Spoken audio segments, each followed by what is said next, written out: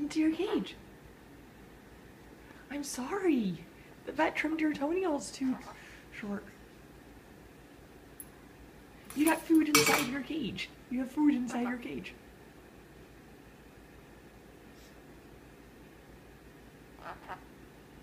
What's up?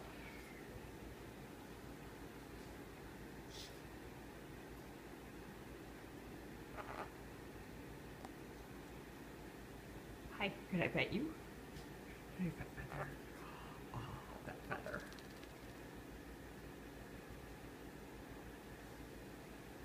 Here, I'll come.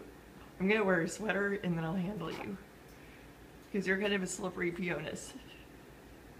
You have fresh food in there. Why don't you eat your breakfast and I'll get the cockatoos out?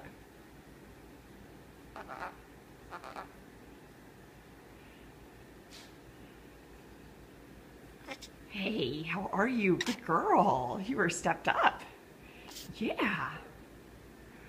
There you go. Yummies. Oh, look at all that food. Good bird.